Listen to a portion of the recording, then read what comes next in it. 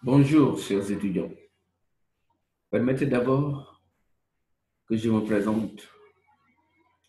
Je suis Amdi Mustafa Ndao, formateur en lettres modernes. Je vais vous présenter le cours de technique d'expression et de communication. Chers étudiants en licence 3, aujourd'hui, nous allons nous intéresser au chapitre 1, intitulé Les écrits sociaux, mais particulièrement au CV appelé curriculum vitae.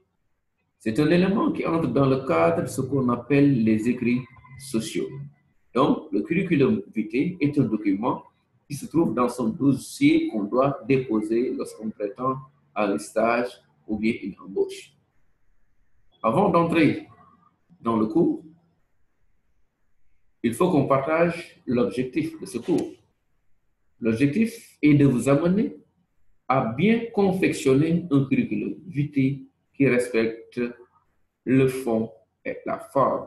Donc, bien présenter un curriculum vitae. Pour ce chapitre, nous allons l'étudier parce qu'il va vous permettre de découvrir et de produire les écrits sociaux indispensables à toute recherche d'emploi. Il s'agit de vous familiariser avec les techniques de rédaction du curriculum vitae.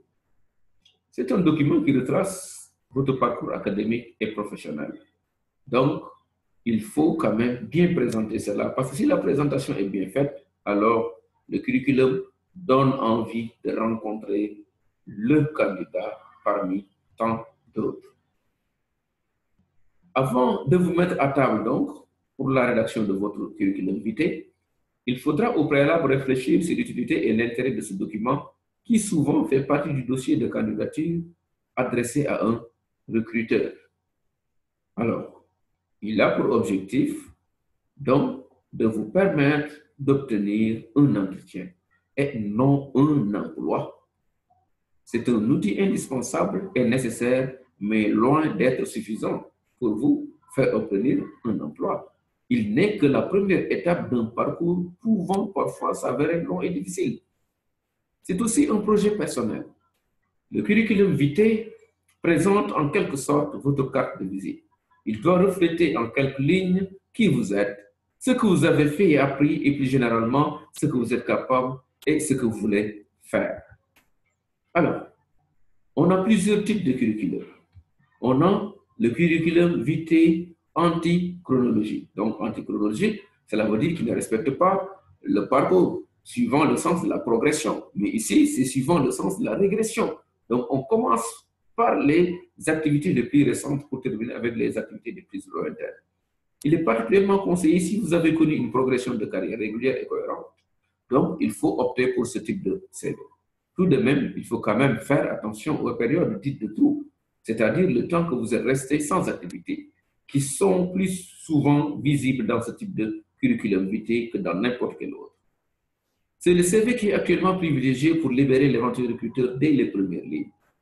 Alors, parce qu'il consiste à commencer la présentation systématique de votre dernière expérience professionnelle ou votre dernière formation.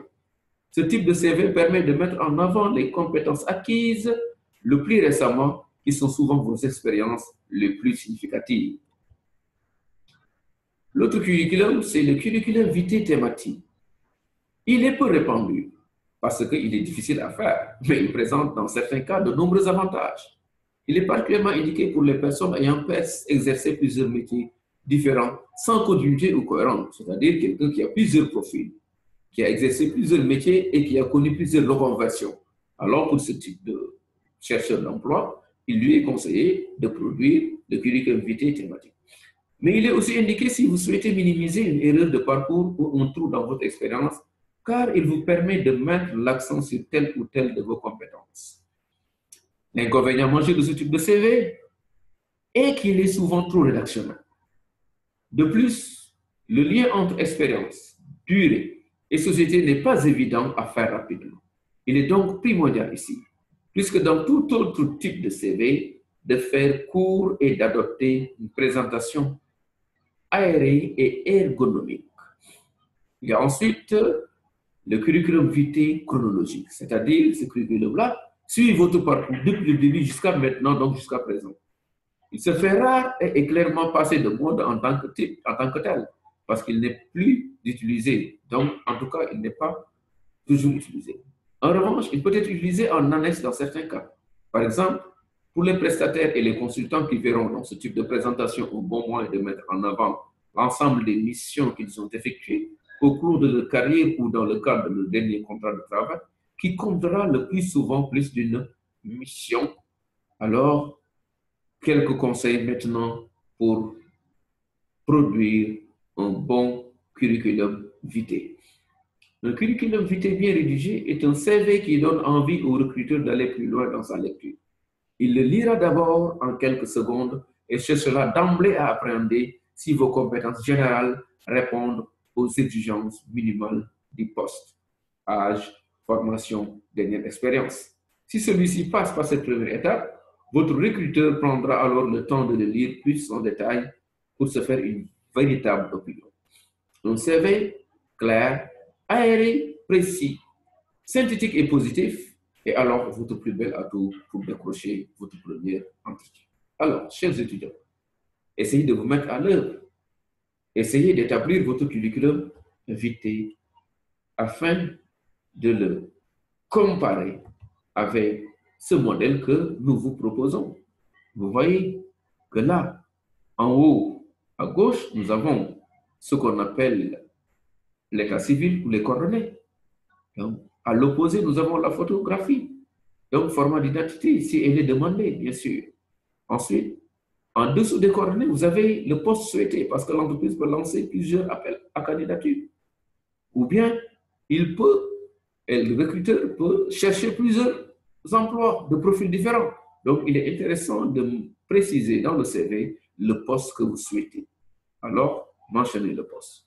Ensuite viendra maintenant la formation ou études, expérience professionnelle. Alors ici, ces rubriques est scindée en deux étapes. Les stages professionnels, donc pour quelqu'un qui a déjà un, diplôme professionnel et qui n'est pas encore recruté, mais qui ne fait que des stages. Alors, il doit mettre donc les stages dans une rubrique, sous-rubrique intitulée stage professionnel. S'il a maintenant la chance d'avoir des emplois, un, deux ou trois, durant son parcours, il peut aussi avoir une autre sous-rubrique intitulée emploi mais tout cela entre dans le cadre de l'expérience professionnelle donc, du candidat. Ensuite vient les langues informatiques, c'est-à-dire les langues que vous voulez parler, écrire et lire, et les logiciels que vous pouvez exploiter, simplement. Alors, c'est pourquoi on a mis langue et informatique, parce que maintenant, c'est à la mode. Si vous ne pouvez pas travailler sur l'ordinateur, alors ça risque de vous poser un peu préjudice. Alors, enfin, il y a ce qu'on appelle le centre d'intérêt. Donc, les associations, décrivez votre activité associative, culturelle, et si vous êtes quelqu'un dynamique qui pratique du sport, bien que participe à des clubs sportifs, alors il faudra le mentionner donc dans ce rubrique-là réservé aux autres activités qui n'ont rien à voir avec votre expérience professionnelle. Voilà, chers étudiants, donc nous sommes arrivés au terme du cours et je vous remercie de votre aimable attention.